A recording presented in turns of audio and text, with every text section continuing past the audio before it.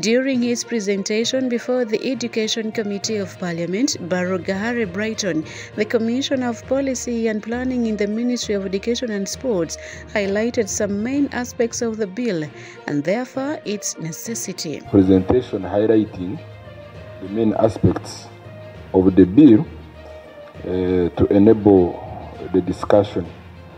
Uh, Honorable Chair and members of Parliament, Cabinet and the Minute number 130 CT of 2019 approved the National Teachers Policy. The policy provides essential guidance on the professionalization of teachers, standardization of the teacher-rated interventions, and enhancement of teacher quality to improve the learning outcomes at all the levels of our education system. The bill also seeks powers to administer competence tests for anyone seeking to register as a teacher in Uganda.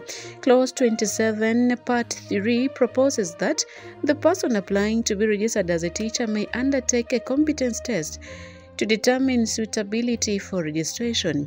This was ardently protested by Kalungu County West MP Joseph Gonzaga Ssewungu. You are turning somebody who has come out of the university with a bachelor's of education, as you are alleging, but you are forcing him to do another pre-entry to be appointed a teacher.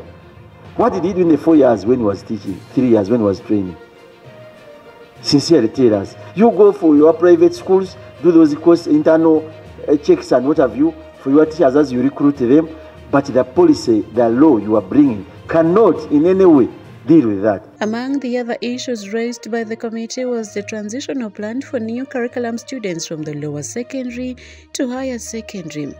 The State Minister for Higher Education, John Chrysostom Muyingo, revealed to the committee that the National Curriculum Development Center is developing a transitional plan that will be shared with the committee upon completion.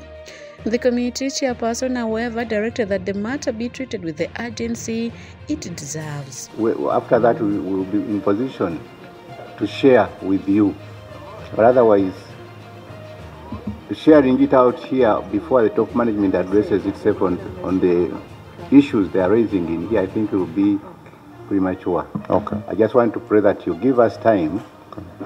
We go to the, the, the, make a presentation to top management for consideration then we come back to you. According to the Ministry of Education, the bill aims to establish a professional body responsible for regulating the teaching profession by consolidating registration and licensing processes, providing for discipline and professional conduct, and ensuring continuous professional development.